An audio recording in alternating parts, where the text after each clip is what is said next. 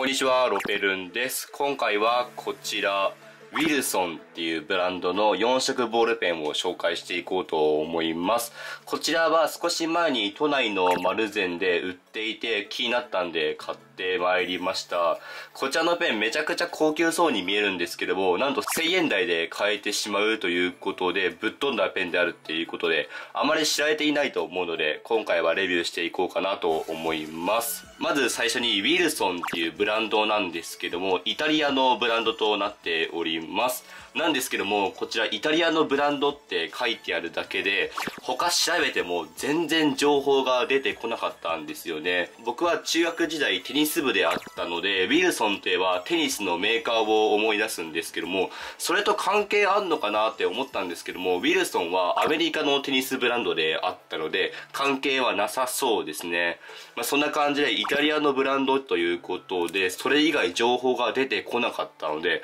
ちょっと謎が深いブランドでありました。お値段は1200円となってていて、こちらは4色ボールペンということで、黒、赤、青、緑の油性ボールペンが使えます。カラーラインナップは、ホワイト、レッド、ミント、ゴールド、シルバー、ブラック、オレンジ、ネイビーとなっていて、今回はシルバーを買ってまいりました。ただネットとかで調べてみると、ゴールドとシルバー以外全く在庫がなかったので、おそらくシルバーとゴールド以外は廃盤になっているんじゃないかなと考えられます。サイズ感は長さが約13.6センチ、太さは約0.9センチ、重さは約 20.5g となっております。はい、ということでね、こちら謎が深いペンであるんですけども、早速デザインを見ていこうかなと思います。デザインはこんな感じということで、めちゃくちゃ高級感がありそうですよね。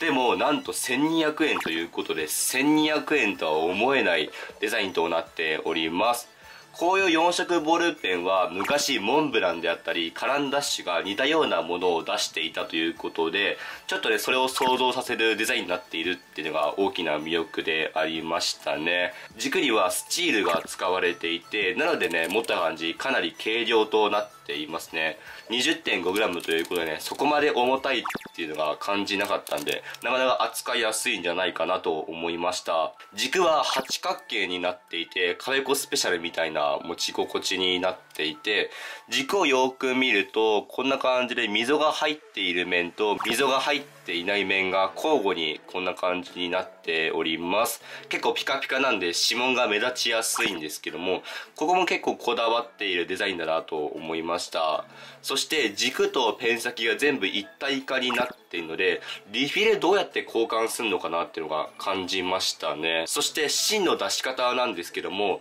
普通の多色ペンっていうのは、この軸の後部にノックレバーがあって、このような感じでペン先を出すっていうのが仕組みなんですけども、今回のウィルソンの4色ボールペンは、軸の中心部分にノックレバーがあるということで、これも面白いですよね。ここに出っ張りがあるんですけども、この出っ張りを奥までやると、このような感じで芯を出すようになっております。ただこの出っ張りが小さいっていうのと、しっかり奥までやんないといけないので、ここはちょっと使いにくいなと感じました。なので簡単にこんな感じでやっても芯がね、出ないっていうことがたまにあるので、やっぱ使い勝手っていうのを考えると不便だなと感じましたね。ただデザインはめちゃくちゃいいですよね。レトロかつおしゃれで、これもなかなかね、デザイン性にはこだわっているなと感じました。ここにちょっとパーツが見るんですけども、ここをしっかり奥までやらないと、ちゃんとペン先が出ません。そしてクリップなんですけども、クリップはね、こんな感じになってて、短めになってるので、持った時も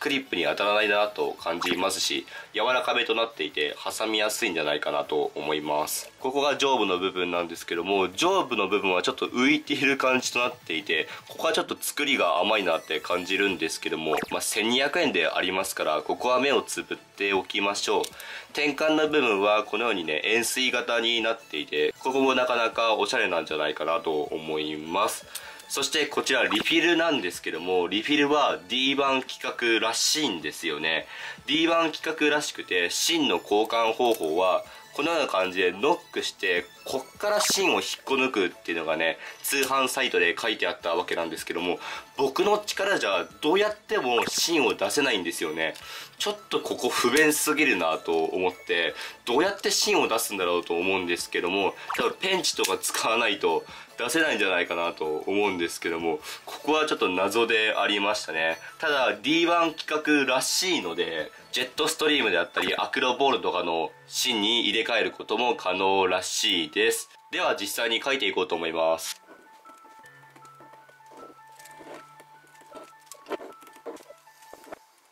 はい、ということで書いてみました。書いてみての感想なんですけども、うーん、デザインのみかなっていう感じでありましたね。海外製のリンクなんで、やっぱ油性でもね、結構粘度の高いヌラヌラとした書き心地であったので、まあ、これが好きっていう方はね、いらっしゃると思うんですけども、特に赤に関しては書き始めがこんな感じで書けないことがあったので、ちょっとここは残念だなって思いました。ただ、まあ、それ以外は書いてみてもなかなか上品な書き心地で非常に良かったと思いましたね。あとこの軸のカチャカチャ感ですね。ペン先も若干ぐらつきますし、書いてる時もこんな感じでカチャカチャなってしまうので、これが気になるっていう方もいらっしゃると思うので、ここも注意が必要ですね。まあ、全体を通して考えてみると、デザインはめちゃくちゃいいと思うんですけども、このリフィルが交換できるのかできないのかっていう曖昧さと、このロックレバーの使いにくさと、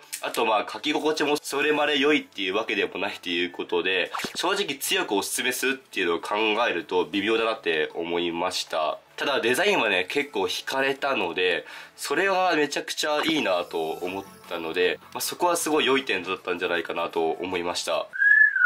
はい、ということで以上となります。今回はウィルソンの4色ボールペンを紹介しました。こんな感じでエクリドールと並べてみると、もう